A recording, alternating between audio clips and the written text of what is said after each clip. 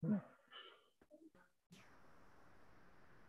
evening, one and all. Welcome all to a new session of Vayomanasa Sanjeevani's webinar series. Today's session topic is World Respiratory System and Respiratory Diseases in Elderly. To talk about this, we have Dr. Shrikanth, sir. Welcome you, sir, for today's session.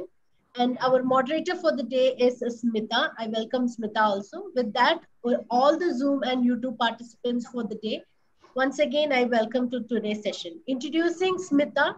She is an active volunteer of Vayomanasa Sanjeevani, also a volunteer of well-being in uh, uh, well-being volunteer in NIMHANS. She is doing her uh, MA in psychology. So that's about uh, Smita. Now I request Smita to address our speaker. On to you, Smita. Thank you. Thank you, Gina ma'am. Uh, good evening, everyone. I welcome all the Zoom and YouTube participants to 85th webinar series of Vayomanasa Sanjeevani. The head of this initiative is Dr. P.T. Shivakumar and other team members of Geriatric Clinic and Services, Department of Psychiatric NIMHANS. Currently, the activities are Monday's public awareness webinar, team-based group meetings conducted by volunteers, and Saturday's activity sessions which focuses mainly on mental health and well-being in older adults. And on the occasion of World Asthma Day, the topic of today is respiratory problem in elderly. To discuss more about this, I welcome Dr. Shrikanth Hiremath, born and brought up in uh, Nurvi village, Hubli Taluk, completed uh, up to 10th standard in rural area. Sir joined MBBS in VIMS Bellary Later completed MD from Government Medical College, Baroda of Gujarat. Secured first rank in MS University exams, Baroda. Later, Sir joined KMC Manipal at Udupi and at present is working as consultant pulmonologist in SDM College of Medical Science, Dharwad since six years. So this is a very short brief about you. Sir, on behalf of uh, Vayomanasa Sanjeevani team and all participants, I welcome you to this webinar. Welcome, sir. Thank you. And, Thank you very much. Yeah. Shall I start the session? Yes, sir. You can start the. Go ahead, sir. Yeah. Okay. So thank you very much for the kind introduction. And uh, before starting my topic, I would like to tell thank you very much to the Vayomanasa Sanjeevani team in collaboration with the Indian Society of uh, Psych uh, Psychiatry and NIMHANS uh, for conducting these awareness programs every Monday. Uh, today's topic is respiratory diseases in elderly people. So no elderly person should be like an exile in our families. The elderly should be a treasure of our society. So, um, aging is not the disease. So, aging is just a risk factor to develop the disease. Okay, still, we have a scope to reduce those risk factors in elderly people. So, we define elderly when they cross 65 years of age groups. So, before going in detail about this topic, so we'll see what is aging. So aging is a complex biological process that is characterized by irreversible functional and anatomical changes in the body, resulting in an increased susceptibility to disease processes. It means, so functional changes. So it means as age progresses, we have a different systems in our body like digestive system, cardiac system, and CNS system, that is brain, and respiratory system. So there will be either decrease in the functioning or there is an alteration in the functioning of these systems, which is going to cause some of the diseases. And at the same time, some anatomical changes in our body, like development cataract in eyes is going to cause diminution of the vision and also there is a bending of the spine is going to cause bending of our posture which will in turn leads to decreased expansion of the lungs and can attract so many infections. So aging is associated with multiple structural changes even in respiratory system, which results in susceptibility to many disease processes. So let us see what are changes are going to happen in lungs as age progresses. So we all know that lungs work like a balloon. So it has got a elasticity where, where it can expand and it can recoil by taking breath in and out respectively. So lung elasticity recoiling is usually reduced as age progresses. That is called as age-related emphysema, where lungs are remained in an expanded status as the uh, age progresses. And because of that reason, there will be a small airway caliber, means the diameter of the small airways are usually reduced, which is going to cause decreased flow when we blow. So because of that reason, some amount of the air always remains in our lungs. So which is more than what actually it remains in younger age groups. So because of that reason, patient has to put or individual has to put more pressure to exhale.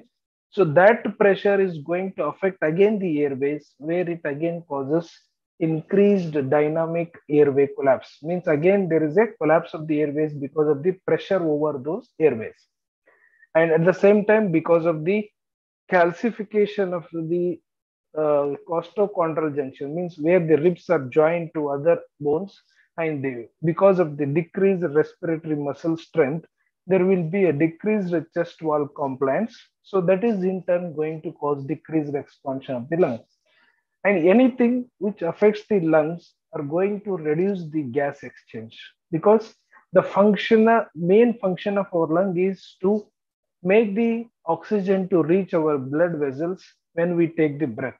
So that process is called as gas exchange. In turn, that oxygen is going to reach the different parts of the body. So when this gas exchange is altered, then automatically the oxygen supplied to the blood vessels in turn to the different parts of the body is reduced and that is going to cause breathlessness. So similarly, elderly people are more prone to develop the infections, especially. So there are some three main reasons for these things. One is weak cough reflex. So whenever some foreign body enters in our respiratory system, immediately we'll get a cough reflex, which is helpful to get it out of our respiratory tract. But when there is a weaker cough reflex because of the decreased reflexes in the respiratory system in elderly people, the whatever foreign body which reaches the lungs usually remains there only and sometimes that becomes the source of infection. And some hair-like projections in the airways which are usually less mobile and the length of those hair-like projections which are there especially in younger age group which are very uh, larger and usually they move very faster. So that becomes usually slower and smaller in size and that is going to cause stagnation of the secretions in the airways. I'll show the picture. You can see in younger age groups in younger age groups you can see on the left hand side there is a hair like projections which are usually lengthier in uh, their heights. And whereas in case of older age groups usually they are shortened. So because of that reason the mucus secret, secreted in the airways remains within the airway and it will not be usually drained up and out of the airways. And because of that reason again that becomes good media for the growth of bacteria and viruses which can cause different types of infections. And at the same time as age progresses, nose and breathing passages, which usually secrete IgA antibodies. I think everyone must be aware of what are antibodies after the COVID era, because the vaccination usually produces antibodies, which is called as acquired antibodies. Whereas our body has got certain mechanisms where it can produce natural antibodies. They are called as IgA antibodies, especially where there is a passage and where there is a direct connection to the environment like airways so these iga antibodies are they are the military like structures in our airways which can hinder which can stop so many viruses and bacteria at the exposure site only so that it can prevent the further development of the disease or infections in the lungs. But as age progresses, the production of these IgA antibodies are usually reduced, and that is one of the responsible factor for the development of repeated infections in elderly people. So other than this aging or structural or functional changes in the lungs, some other common risk factors which are responsible to develop the lung disorders like cardiac conditions. Some of the heart conditions are indirectly related to lung functions and that is going to worsen the or alter the functions of the lungs. Kidney and liver conditions. So they they are going to cause some of the alterations in the functions of the lung and that is also responsible for the development of some lung disorders. Some of the chronic diseases like diabetes and rheumatological finding uh, diseases like rheumatoid arthritis, systemic lupus erythematosus, they are some autoimmune disorders which in turn affect the lung functions and can cause many diseases in the lungs. And we all know that our building blocks of our body is a protein. So when a patient or individual won't take a proper food or because of the age factor there will be a decline in the functions of the gastrointestinal tract where there is some digestive problems. So there is absorption defects of these proteins and calories. So that is going to cause protein calorie malnutrition in turn leads to hypoalbuminemia. Means there is a decrease in the albumin level in the body which is responsible for the development of diseases the most important behavioral and environmental factor for the development of the lung disease is the tobacco smoking. So alcoholism in turn reduces the immune power of our lungs and that is going to cause many infections. And repeated respiratory tract viral infections are what responsible to develop many damages in the lungs, what we have observed in the COVID era sometimes it can cause some permanent damages in the lungs, which will lead to interstitial lung disease or some, some other, other disorders in the lung, which will cause a long-term morbidity. The burden of these coexisting medical condition is frequently much higher in these older patients. That's why many of these comorbidities can mimic like pulmonary disorders or lung disorders so, for example, heart attacks.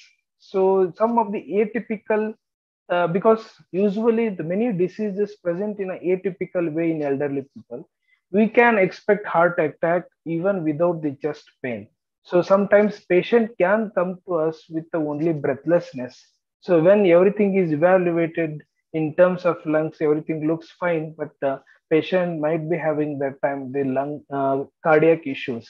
So because of this decreased pumping capacity of the uh, heart, and there will be some amount of fluid accumulation in the lungs that is called as pulmonary edema, so which is responsible for the development of breathlessness. And some of the kidney issues can also cause the fluid retention in the body because the whatever un, uh, unwanted things that are remained in the body are not usually excreted through these dysfunctioned kidneys.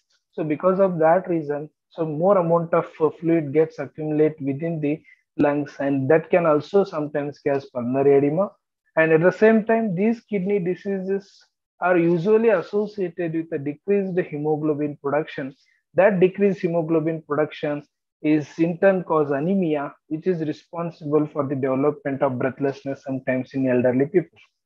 So the evidence suggests that these pulmonary diseases are often misdiagnosed as uh, different diseases and they are inappropriately treated in elderly patients. So let us see what are the common diseases we usually come across in elderly people. One is pneumonia. So pneumonia is very common after the age group of 65 years. The pneumonia means it is an infection of the lungs where there is a secretion of the mucus and other inflammatory mediators within the lungs, so which blocks the airways and that is going to reduce the gas exchange as I already explained.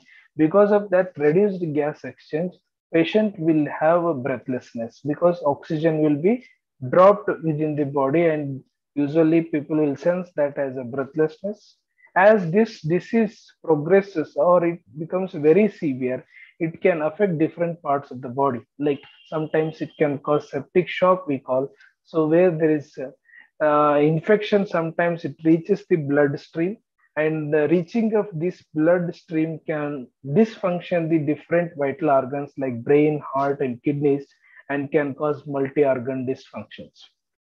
And next is COPD, which is usually caused by exposure, exposure to the noxious stimuli like tobacco smoking, and sometimes it is exposure to some smoke in some factories like that is occupation related for a long period of time. And sometimes it can be because of the exposure to biofuel mass uh, combustion that can also release some smoke and that is also responsible to develop COPD and sometimes exposure to air pollution for a long period of time, either it is outdoor or indoor, is a responsible uh, cause to develop the COPD. COPD means there will be a expansion of the airways. You can see this some hole-like structures in the lungs. So this uh, the below is the normal lung. That hole-like structure is going to reduce the oxygenation in that area and the oxygen reaching the blood is usually reduced and, and can cause breathing difficulties. Next is asthma. Asthma is allergic condition. You can see the airways here on the left hand side, the normal airway where it is very patent and you can breathe easily through this one. Whereas on the right hand side, you can see there is a constricted bronchus, means airways are usually blocked by the increased secretions and the diameter is reduced. Because of that reason, people will have a breathlessness and whistling type of sound while they are breathing it is called as wheezing and sometimes it can they can present like a chest tightness and sudden onset of uh, uh, that is called as status asthmatic sudden respiratory failures are also common in case of asthmatics. Lung cancer is usually seen in elderly people more than 60 years of age and it is mainly because of the tobacco smoking or exposure to some of the carcinogenic agents for a long period of time, especially in some occupations or some family history is also an important risk factor to develop lung cancer. Pulmonary embolism is an entity where we usually well aware of the term heart attack. So there is an entity called as lung attack. Like in heart attack, usually there is a blockage of the vasculatures within the heart. So the pumping capacity or the uh, functioning of the cardia or heart is usually reduced. Likewise, in lungs also, there are blood vessels. Those blood vessels are sometimes blocked by some thrombus. So that thrombosis is going to cause damages in the distal part of that blockage and that is going to cause breathlessness because so when there is a blockage in the vasculatures that is going to affect the purification of the uh, blood by oxygenation so when there is a blockage, the impure blood means deoxygenated blood is not converted into oxygenated blood or it's a pure blood. So that is going to affect the oxygenation of the different tissues of the body and that is going to cause breathlessness. The other entity, what we usually see after 60 years of age is the interstitial lung disease. So interstitial lung disease is a condition where you can see the hole-like structures within the lung so it looks like exactly a honeycombing where the lungs are shrunken. The volume of the lungs are usually reduced. It is exactly same as that of our dried grapes. So when we compare them with the fresh grapes, so lungs become shrunken and that is going to cause decreased volume of the lung and decreased oxygenation. In turn, patient may develop breathlessness. So when you see these all these symptoms, we usually uh, patient usually come with a very common symptoms of breathlessness, so which accounts for around 30%. Uh, usually, uh, patient feel that I am aged, that's why I'm not uh, uh, like that's why I'm feeling breathless. So that is not the usually because of his pace he has to work without breathlessness. So when uh, he's feeling breathless when his friends or age group of people are not feeling breathless when they are working together then that should be the uh, uh, point of concern. We have to consider that seriously and find out the cause for that. And uh, the same time, uh, next symptoms will be cough with expectoration. which is a very common uh, problem, what we usually observe in the patients with uh, patients with uh, different type of lung disorders. These cough with expectorations may look very simple because these symptoms are very common even in uh, some of the respiratory common respiratory conditions like um, uh, common respiratory conditions like common cold and cough. But these things are very common symptoms even in a very deadlier diseases like uh, um, uh, lung cancers and these pulmonary embolisms. That's why we should not neglect these symptoms as a very common symptoms. Okay? So next symptoms will be wheezing. So wheezing are usually common in a patients with asthma and COPD, where usually those patients because of the decreased airway diameter usually whenever air comes out of those decreased diameter it causes some whistling type of sound and that is also a, concern of point we have to consider that as a serious issue and uh, get evaluated by the doctor next is easy fatigability so there is a slight difference between the breathlessness and easy fatigability easy fatigability or decreased exercise tolerance. Previously, they used to do certain exercises, but now they are not able to do that. So such things are usually common in a patients where there is a decreased hemoglobin, where there is a muscle weakness, and those patients who are having diabetes, hypertension, uh, because of that reason, there will be some nerve weaknesses that can also sometimes cause these type of easy fatigabilities. So these are the symptoms which are usually seen in a patients uh, with the different type of uh, these uh, pulmonary disorders. But uh, with all these things, so it is always better to uh, consult a uh, specialist, especially pulmonologist, when these type of symptoms are usually present. And they are like patients usually what we have observed after covid when they develop cough and cold usually they think that everyone every patients are uh, being diagnosed as a covid and they usually directly go to pharmacy and take some medications means it is a self medication from their side. So that becomes uh, difficult for uh, uh, treatment of the cases as it gets complicated. And at the same time so consulting a specialist for the detailed evaluation is very much important factor what we have to observe. Uh, and sometimes when you go to doctors they may uh, tell you some simple test which will help us to differentiate between the different types of diseases as i already mentioned some cardiac conditions or kidney conditions can look like a pulmonary disorders means respiratory disorders where we have to differentiate whether it is related to heart or whether it is related to lungs. So for that reason, some investigations definitely help to help us. So that's why we have to uh, go for some chest x-rays, which will help us to differentiate different diseases. And at the same time, there will be a pulmonary function test. These pulmonary function tests are usually helpful, helpful for us to diagnose this COPD and uh, asthma type of disorders where it helps us to detect the capacity of the lung according to their age. And sometimes it CT scan of the chest is very much important uh, investigation tool to differentiate whether patient is having asthma or it is an interstitial lung disease. And sometimes this CT chest helps us to see is there any growth or any tumor like structure in the lung. So that, that is usually ruled out by this CT chest. And another important entity is the sputum examination. The sputum examination definitely helps us to uh, diagnose some of the infectious diseases like tuberculosis. And uh, even COVID also we can make out by these uh, throat swabs or nasopharyngeal swabs. And sometimes bronchoscopy, it is same as that of the endoscopy.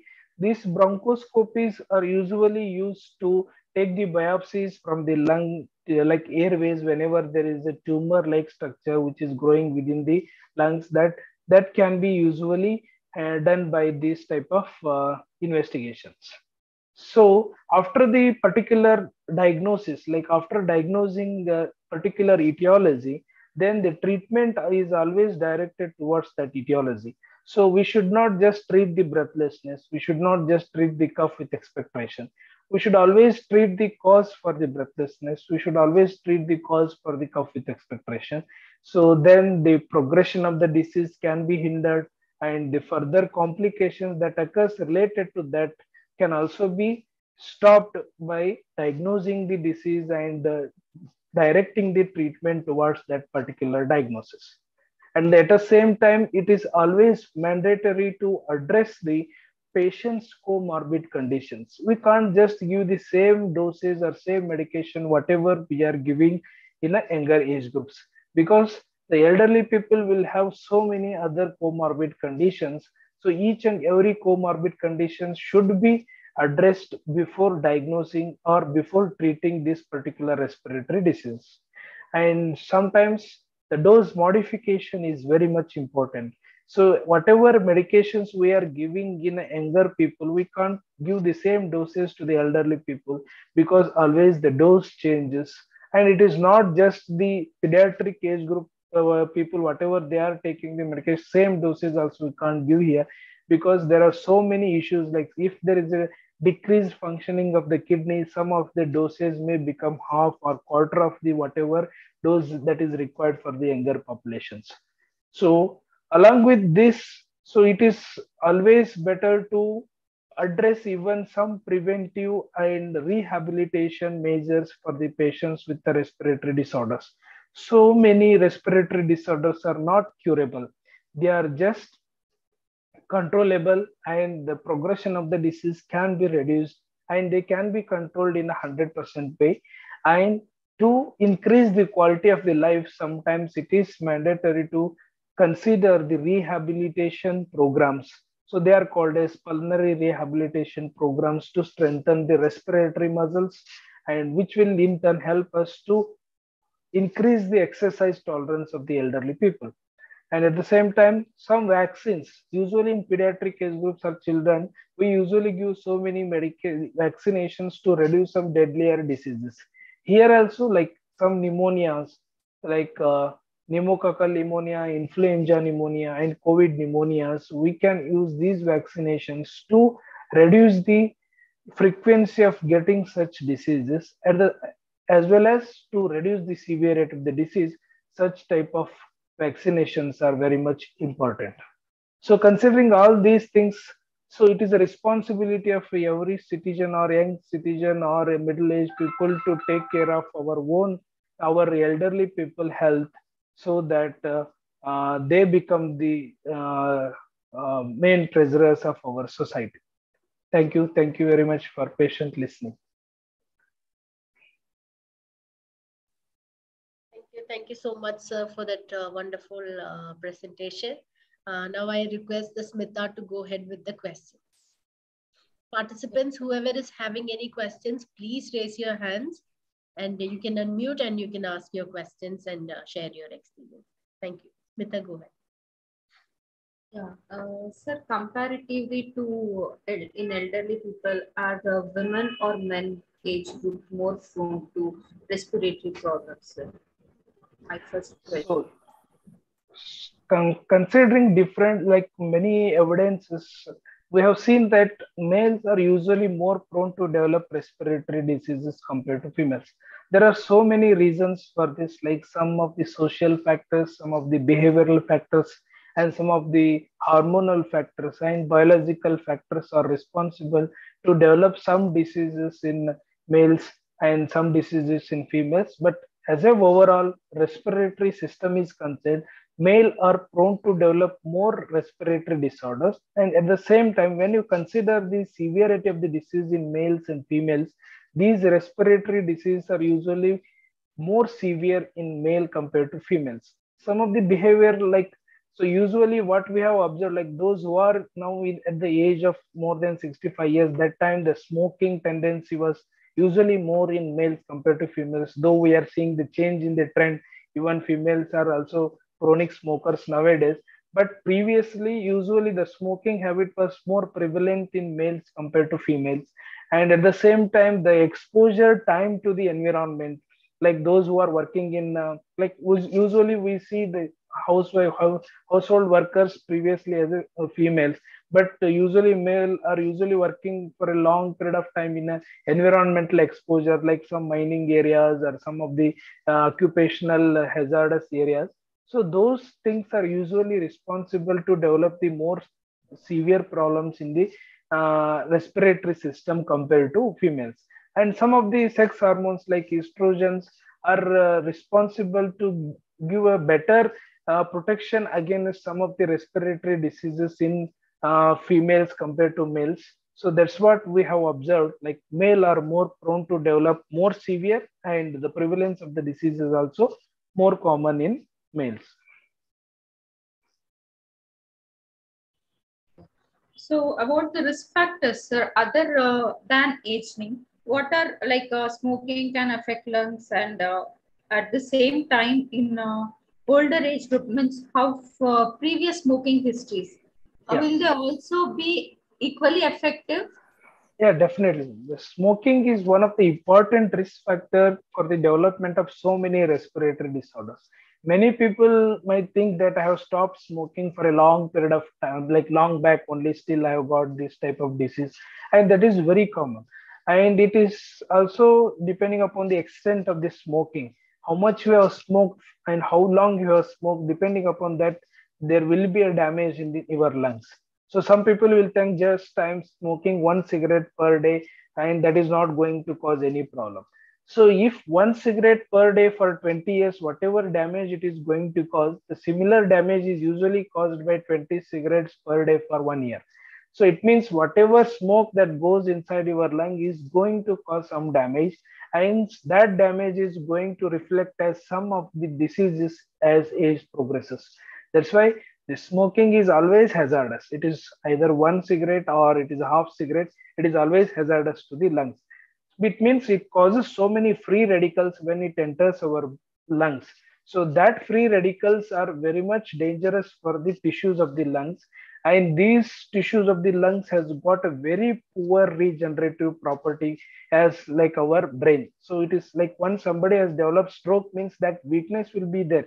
So as days progresses, it may increase, but it will not come back to a normal state.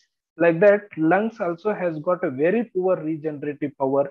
That's why usually the smoking is going to cause permanent damage in our lungs, and that is important risk factor for many diseases.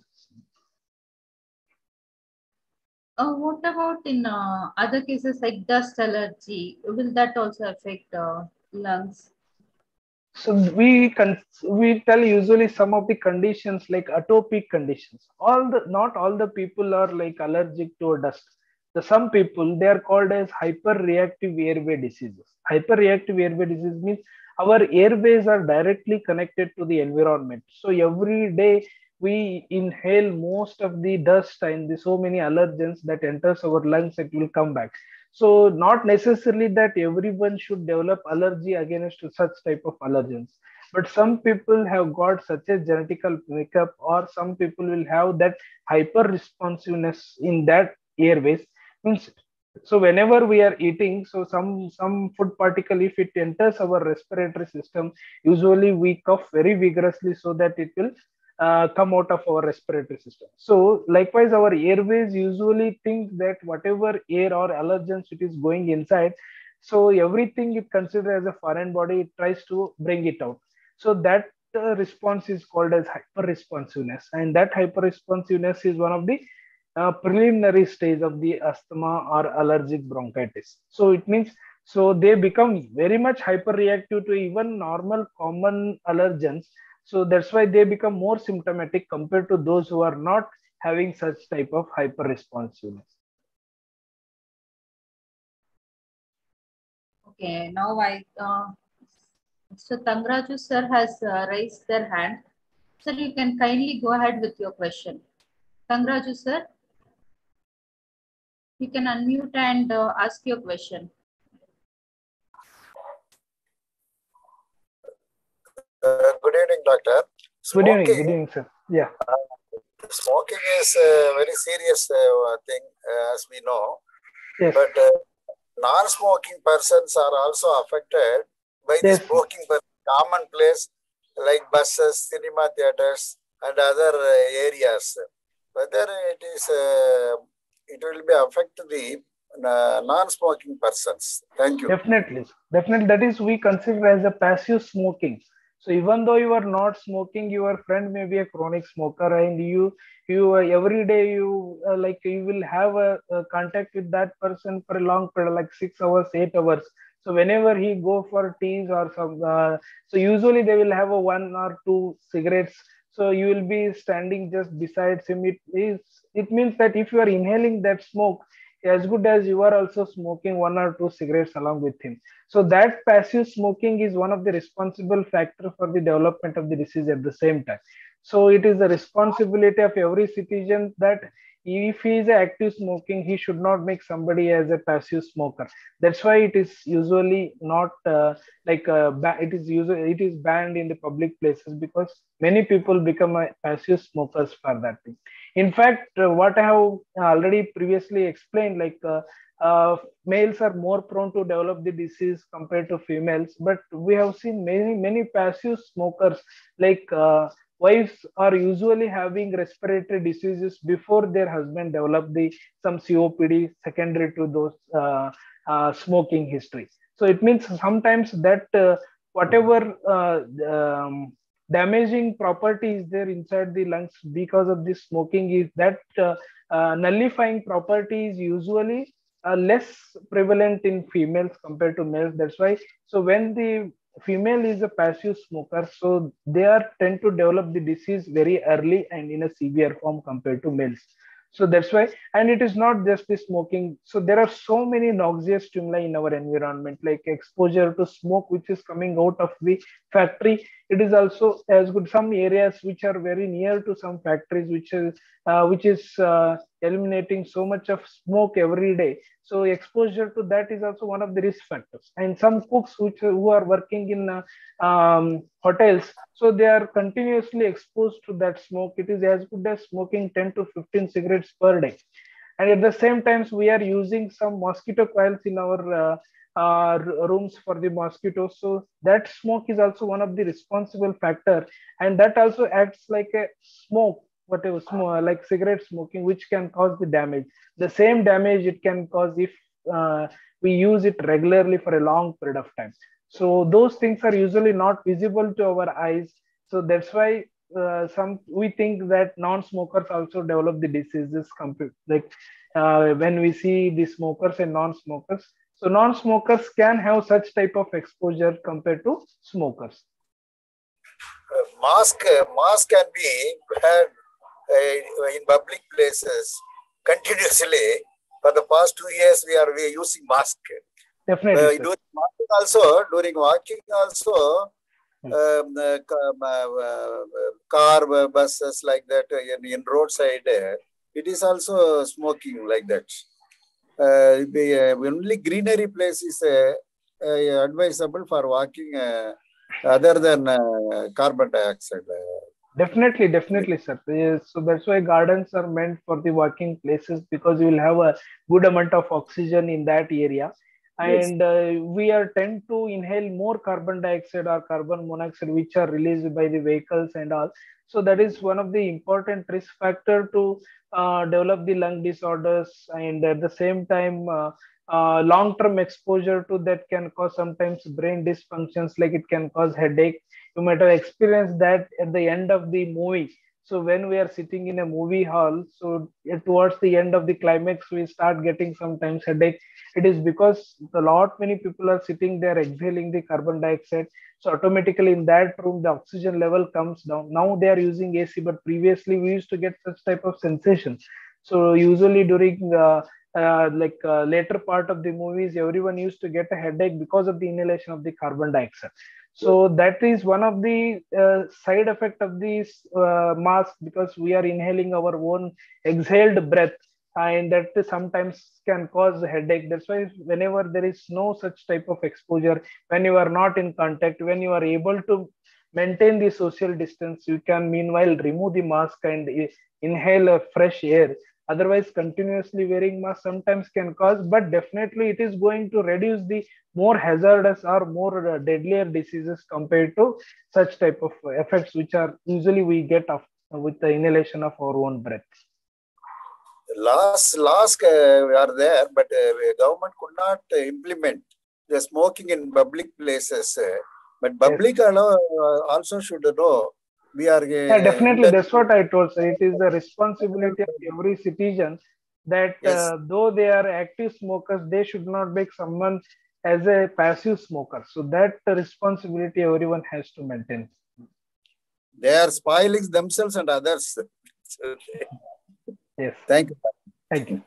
Sir, I think we can move on to the next question since it was yeah. like COVID uh, mask came. Why do COVID patients experience more breathing difficulties, sir?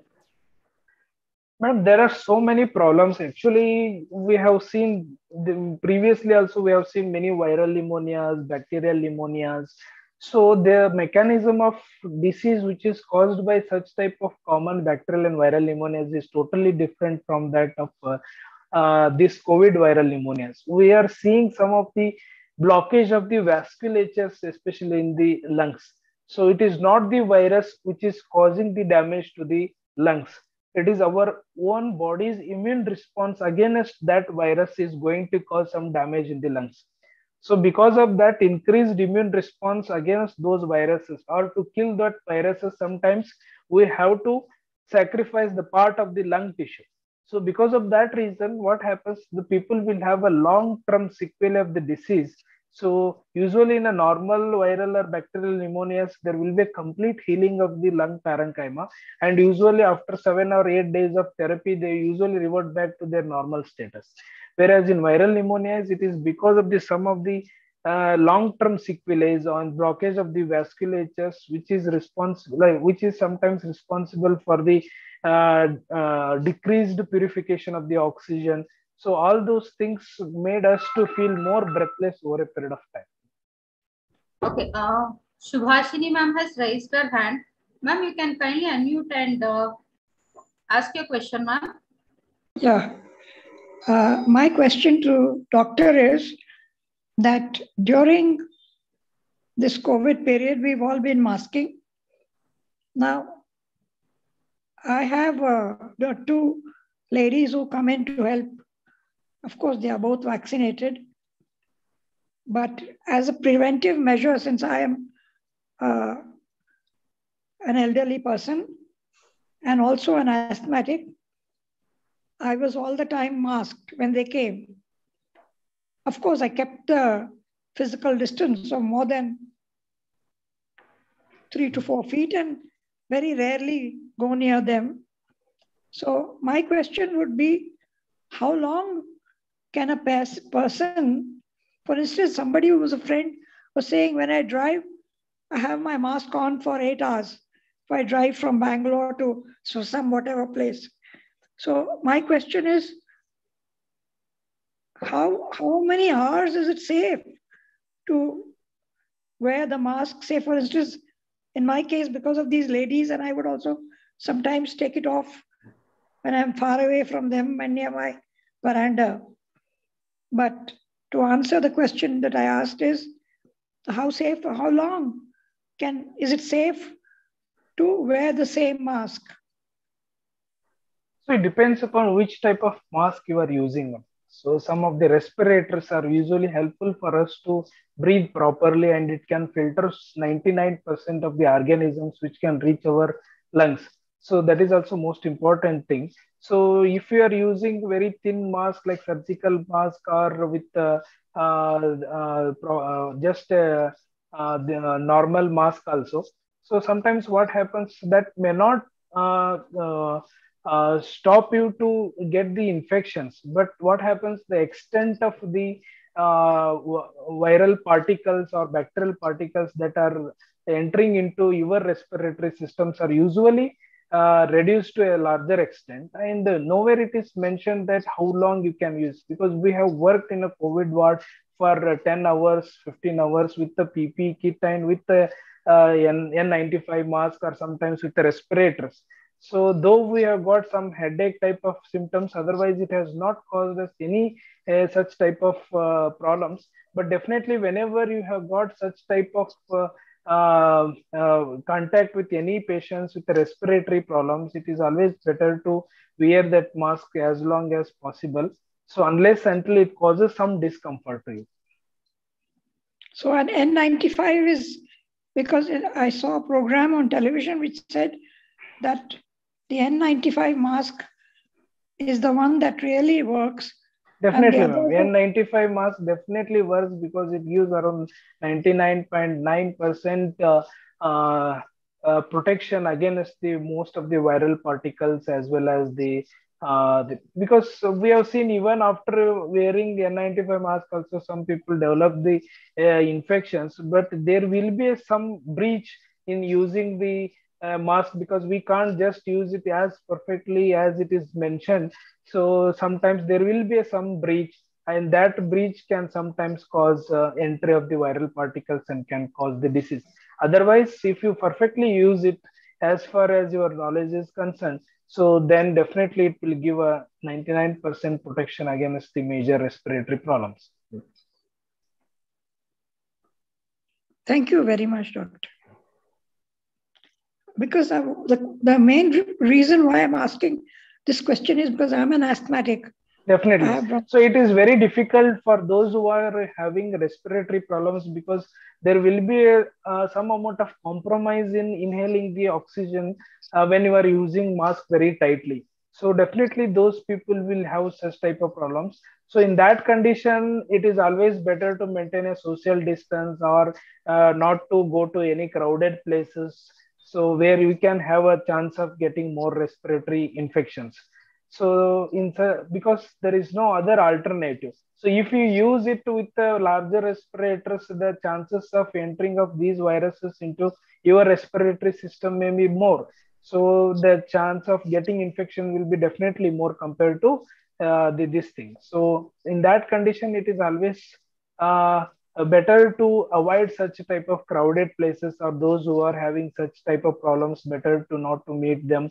Uh, so or uh, use very a short period of time whenever they are talking to them just use it and come out of that area.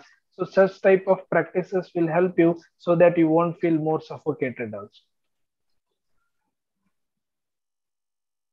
How is it that the doc doctors who have worked in COVID wards like you and some others, how have they escaped getting COVID because they wear masks only? No, no, uh, even we got the infection, ma'am. Even we got the infection. We are also human beings, but uh, we have not contracted that infection from our COVID wards but uh, definitely i would say that uh, usually doctors uh, get such type of infections their family and friends when they become more liberal and they remove their mask and talk to their family and friends that could be the one of the uh, source of infection to develop such type of infections rather than the covid ward or the covid patient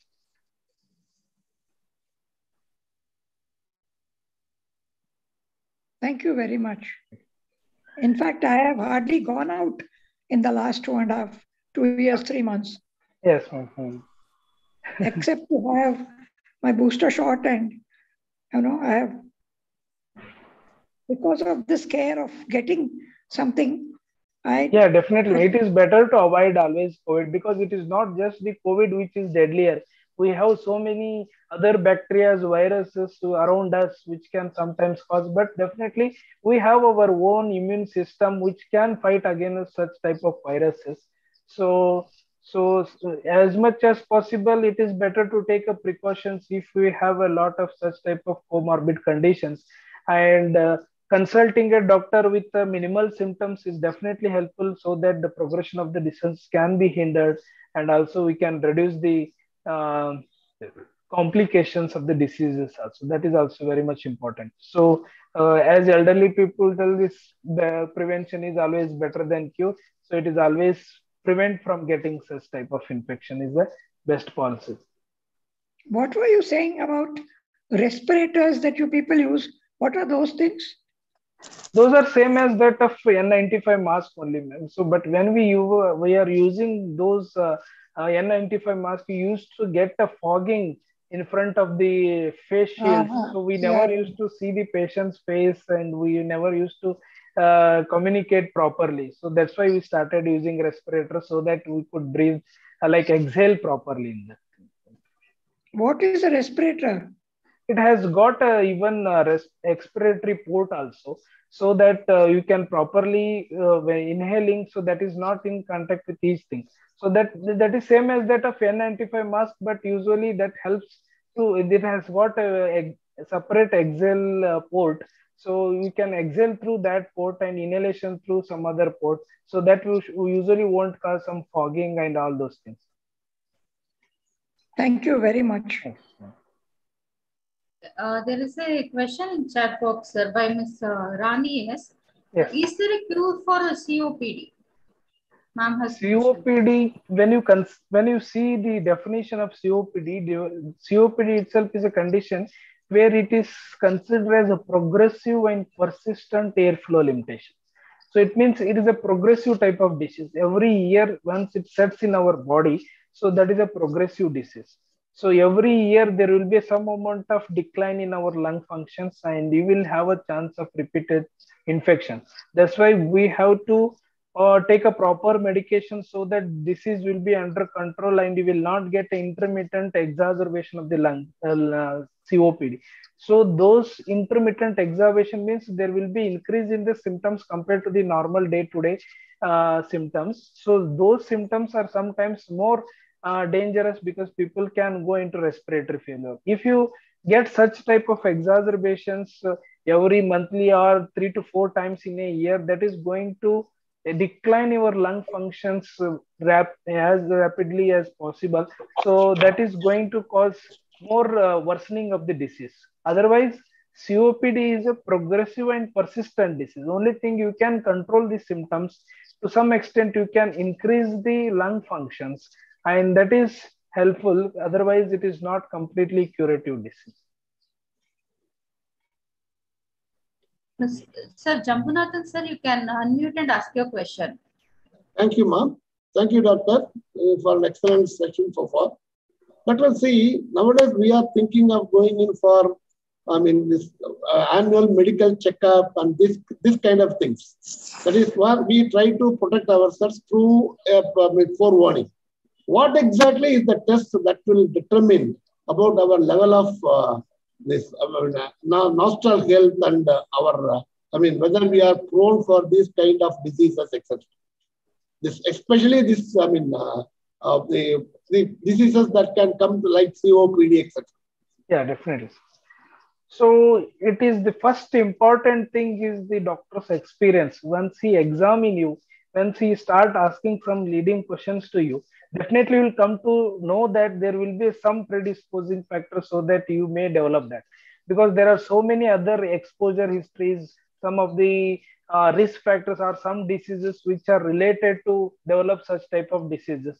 So accordingly we can direct you to a particular investigation or you can monitor with that investigation so that you can see whether you are going to develop such type of disease. For example so if you are working or you were, working in a long time for a uh, some uh, factory where there will be exposure to some smoke or something. So we usually ask uh, ask you people to go for a regular pulmonary function test so that you can see whether your lungs are going uh, uh, affected by such type of exposure to smoke or not. because it is not necessary that all the people who are exposed to smoke usually develop the diseases but it is extent of the exposure and the duration of the exposure how it has affected your lung functions that usually we'll come to know in our uh, pulmonary function test. That pulmonary function test will definitely help us to see the FEV1 we call it. It's a functional it is same as that of for BP so we usually tell 120 80 is the normal. Likewise FEV1 if it is more than 70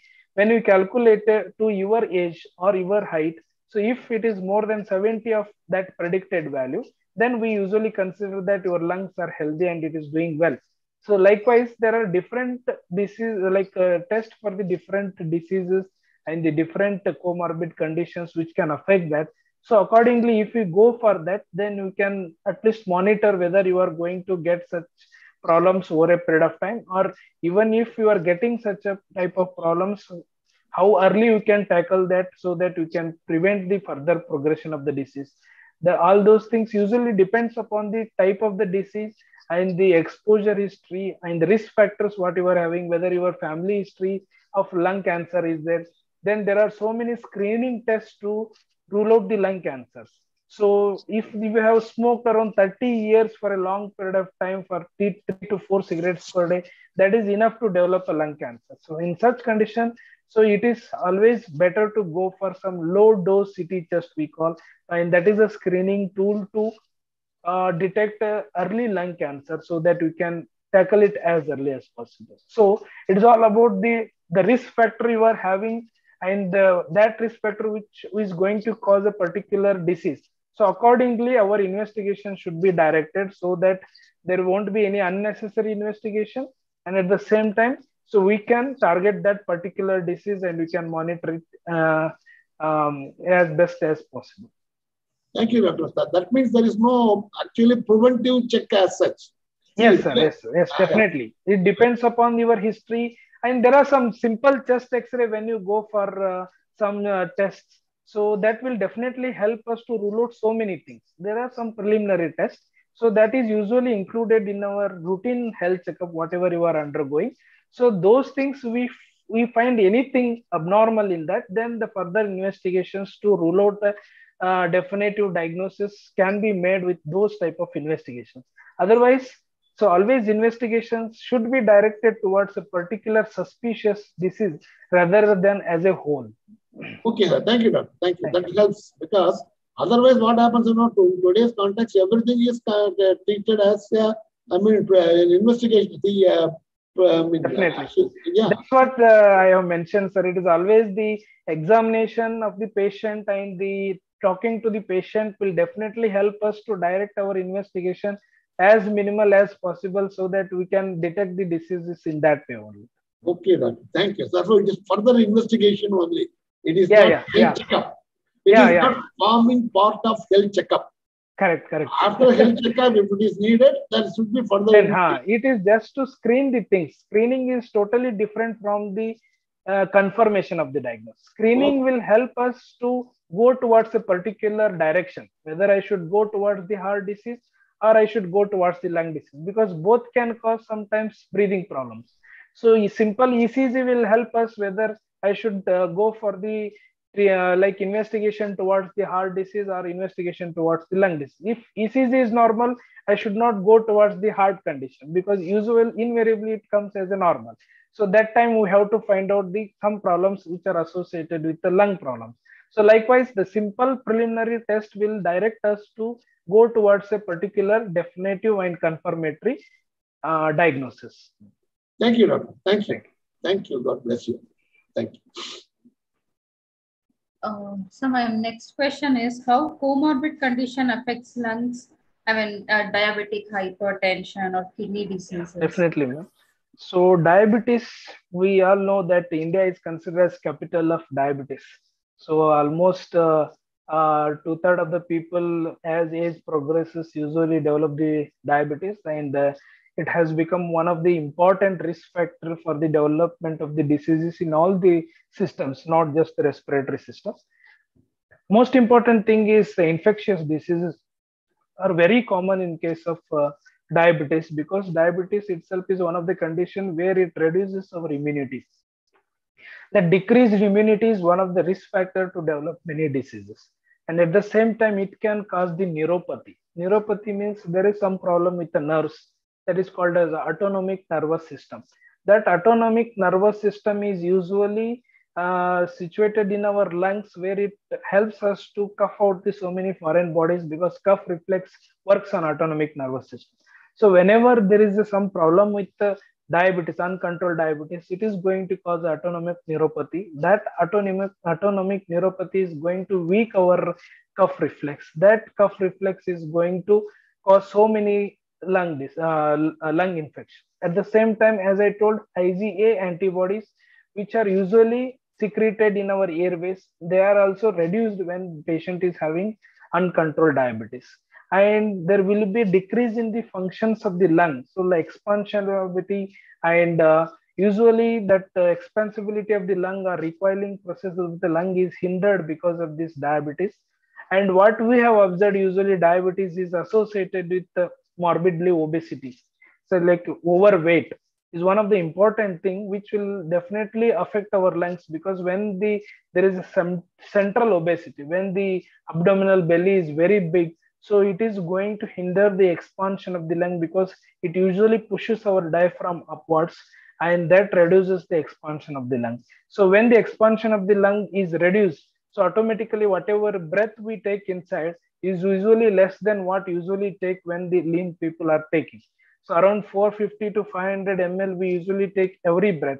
But whenever there is a big belly, so that reduces the expansion of the lungs. So we may usually take around only 200 to 300 ml of breath inside. So patient has to take two to three breaths extra to complete one breath. So because of that reason, over a period of time, patient may go into respiratory fatigue and he will have a respiratory failures. They are called as uh, obesity hypoventilation syndromes or obstructive sleep apneas. Because usually whenever they are sleeping they will have a, that snoring loud snoring. And that loud snoring itself is one of the risk factors because that snoring is sound which is coming out of uh, our throat where there is a narrowing of the airway when we are breathing. So when it is in an open stage usually you will not get this note so when it is narrowed usually the turbulent flow which is coming from the lungs that is going to cause a sound and that sound is called as snoring. And sometimes that snoring becomes very severe and you will have a complete collapse of the airways during your sleep. And that is also going to cause apneas. We call it as stop in the uh, breathing for a certain seconds. And that process continues over a night and usually patient feel have a disturbed sleep so all those things are going to uh, impact the normal functioning of all the system because oxygenation is very much important for all the vital organs. So that's why the diabetes is directly and indirectly it is related to the lung disorders and at the same time hypertension. So we have seen sometimes hypertension is secondary to this obesity because they will have such type of breathing issues and because of that breathing issues there will be increased sympathetic activity in our body and that is going to affect the heart. And that in that condition heart has to pump more to work with the low oxygen levels. So in that condition also it has to it has to increase the blood pressure. And at the same time blood pressure sometimes if it is for a long period of time and uncontrolled it can cause heart failure.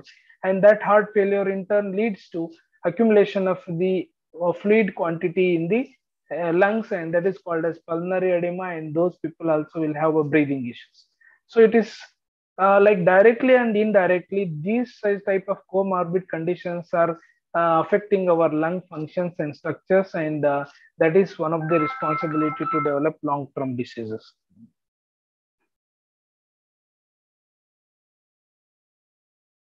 It's not audible, madam. Which are the stages where lung uh, surgery is, um, you know, required, sir? Lung surgeries are previously like uh, lung surgeries were recommended for tuberculosis so those who have got a tuberculosis usually used to have a part of the lung damaged uh, left behind and that used to cause a lot many problems over a period of time. In such conditions some of the surgeries like lobectomy means part of the lung is usually removed in that or pneumonectomy the whole, whole lung is removed which depends upon the extent of the diseases. So such type of uh, surgeries were usually practiced, but nowadays we have got a very good uh, anti-tubercular drugs or a good antibiotics so that the extent of the damage in the lungs can be usually prevented by using early administration of such type of medications. So lung surgeries have come down like anything, but we have got a newer inventions in the lung surgeries like uh, in case of COPD, COPD is a condition where these lungs are usually inflated beyond what exactly it, uh, it has to inflate. So in there, there are some volume is reduced. Means there won't be any space for the expansion of the lung when you take the breath. That is a condition called as the COPD. So when you reduce part of the lungs volume, usually will have a more space for the expansion and patient used to uh, feel uh, no breathless uh, when we go for such type of surgeries. And there are some other surgeries which will help us uh, during uh, such type of uh, like even lung now nowadays they are doing lung transplantation that is also a surgical management of some of the chronic lung conditions like interstitial lung disease end stage bronchiectasis condition. There are so many other conditions which are not usually uh, doesn't have any cure. So such conditions, if uh, there is a good match uh, lungs are available, then definitely surgical management with that is helpful. And we have some uh, uh, layers over our lungs. They are called as pleura, pleural diseases, or there is accumulation of fluid or pus in the lungs. So in such condition also sometimes these uh, lung surgeries, they are called as uh, VATS, video assisted thoracic surgeries or uh, decortication to remove whatever pus is accumulated within the lungs. So that can be removed with some surgical managements. So, but as I mentioned, because of uh, the good availability of the good antibiotics and early administration of these antibiotics definitely helps us to avoid these type of major surgeries. Oh, not audible, ma'am. You're on mute. Yeah. Yeah. Now. Uh, so one last question, sir. So after this, all these uh, surgeries or whatever infection and all, what will be the uh, changes that happens to one's body? Okay. One person. Yeah. So you are talking especially after the surgeries, or it is uh, uh, post any diseases of Anything after a lung disease or after any surgery, yeah. what will be changes to a person? Yeah, yeah definitely. So, though lung is a, a, main important organ which has received the damage from many uh, factors, but uh, over a period of time, because of that compromise in the lung functions, there will be a low grade hypoxia in our body. That is called as so there will be decrease in the oxygen level in our body throughout the uh, day. So because of that reason, what happens? The right sided heart has to pump more so that the whatever available oxygen is there that has to be absorbed into the blood vessels and that has to be sent to the different parts of the uh, body. So that in that condition that right sided heart has to work more compared to the normal things when we have got the lung function. That is called as the terminology cor pulmonale so when we have got such type of lung problems usually that cor pulmonale changes will occur. Cor pulmonale means it is a right-sided heart failure. It works for a long period of time, but at certain period of time it give away and where the pumping capacity of the heart decreases and that condition we call it as cor pulmonale or right-sided heart failure. Right-sided heart failure is always consequences of the lung issues. We should always rule out there is some abnormality in the oxygenation and oxygenation is always by the lung, lung tissues. So if something is affecting that oxygenation, then there must be some compromise in the lung functions. And those lung functions should be addressed as early as possible so that we can avoid the long-term complications of right-sided heart failure. Otherwise, there are two types of right-sided heart failure. Sometimes it is acute, as I mentioned, whenever there is a blockage of the blood vessels in the uh, lungs, usually that is going to, once it starts opening, usually right-sided heart functions properly but when this becomes chronic for a long period of time then so over a period of time it reaches an irreversible stage where it becomes more dilated and it won't contract properly.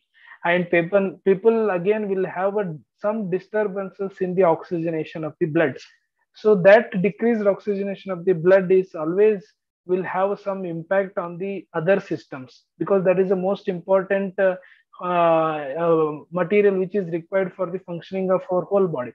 So in such condition, patient may require long-term oxygen therapy even at home. That is called as long-term oxygen therapy or home oxygen therapy or home ventilator therapy. So those things are usually required as the disease progresses because it is not a reversible thing. So this is the main important complications of all the lung surgeries or the lung disorders which are like for a long period of time by this uh, question, we are uh, ending up this session. I thank you, sir, for uh, giving us such a so much vast information about the respiratory problems. And I thank all the YouTube and Zoom participants meanwhile. And over to you, Gina ma'am. I thank you also for providing such a wonderful opportunity. Thank you, ma'am.